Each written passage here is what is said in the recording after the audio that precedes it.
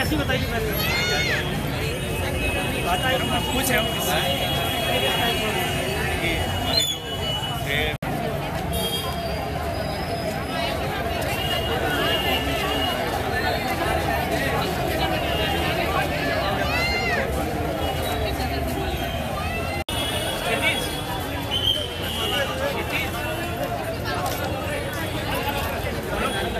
एक दो तीन चार अंडर अत्याचार एक दो तीन अंडर अत्याचार एक दो तीन चार अंडर अत्याचार no safety no duty no safety no duty no safety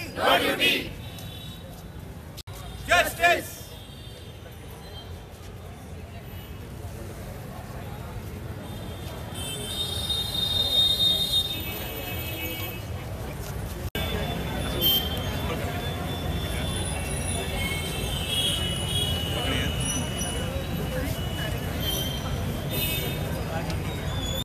doctor Vishwadeep Gupta resident doctor surgery department SN medical college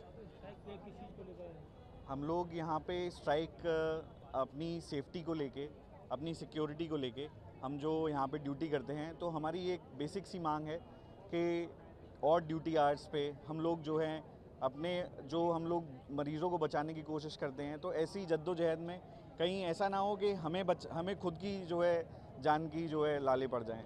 तो इसी चीज़ को लेके एक आपको शायद पता हो कि बंगाल के एक medical college RG Kar medical college में आठ या नौ अगस्त की रात को, आठ नौ अगस्त की रात को एक इंसिडेंट हुआ, जिसमें महिला डॉक्टर जो कि रात में ड्यूटी पे थी, उसके साथ जो है दुष्कर्म हुआ।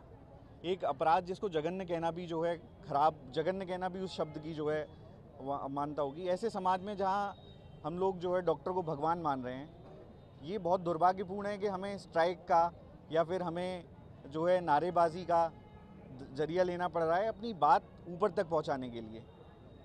ये ख़त्म होने की जद्दोजहद तभी हो पाएगी जब एक यूनिफॉर्म कोड बने कि किस तरीके से डॉक्टरों की सेफ्टी के लिए, किस तरीके से डॉक्टर्स की वार्ड उसके लिए, वार्ड सुविधाओं के लिए, किस तरीके से सरकार प्रयासरत है, हमको बताए।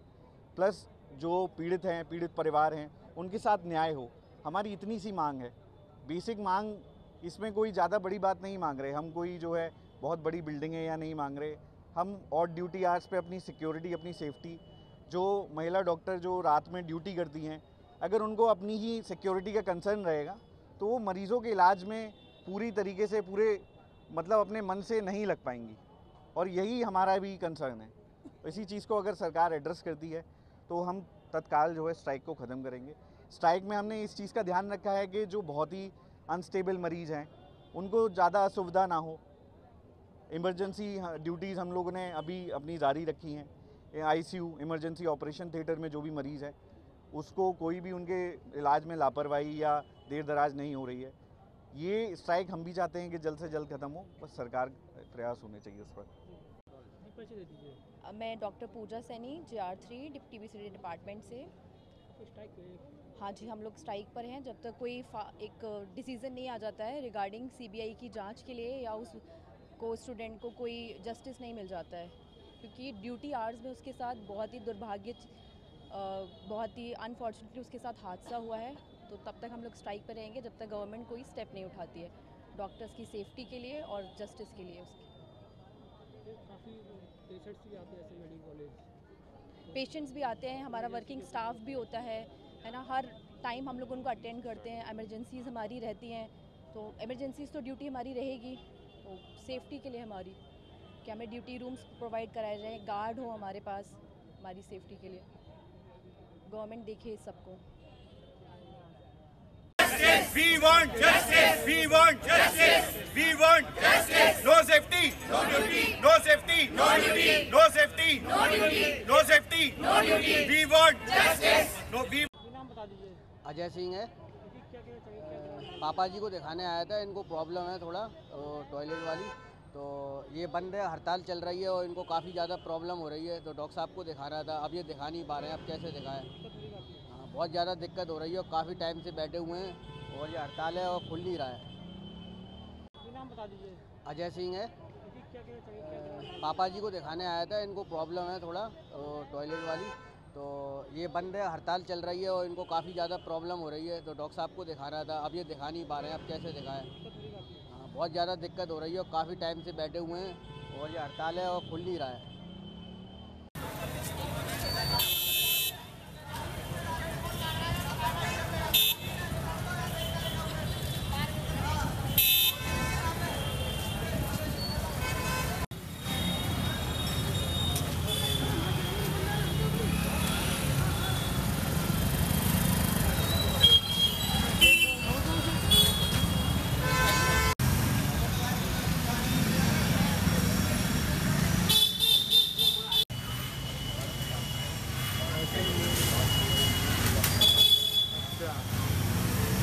dedi.